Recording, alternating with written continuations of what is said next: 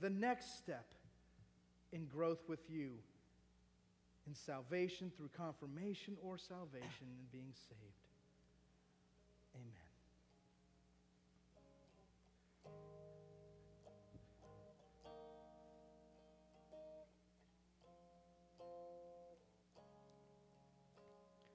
Three in the morning, and I'm still awake.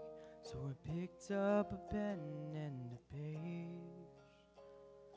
and I started writing just what I'd say if we were face to face.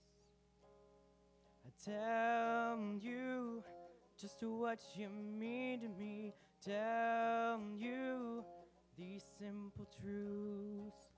Be strong in the Lord and never give up hope. You're gonna do great things.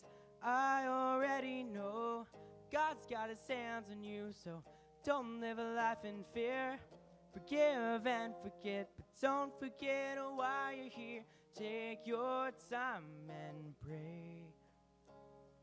These are the words I would say.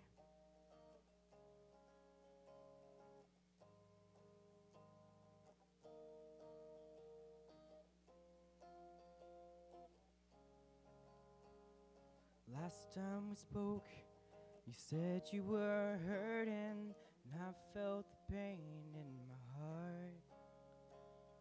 And I want to tell you that I keep on praying, love will find you where you are. I know, cause I've already been there, so please hear these simple truths. Be strong in the Lord and never give up hope. You're gonna do great things. I already know God's got his hands on you, so don't live a life in fear. Forgive and forget, but don't forget oh, why you're here. Take your time and pray.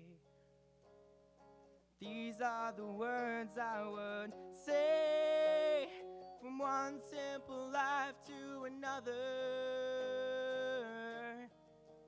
I will say, Come find peace in the Father. And be strong in the Lord and never give up hope. You're gonna do great things. I already Got his on you, so don't live a life in fear. Forgive and forget, but don't forget oh, why you're here. Take your time and pray. Thank God for each day. His love will find a way. These are the words I would say.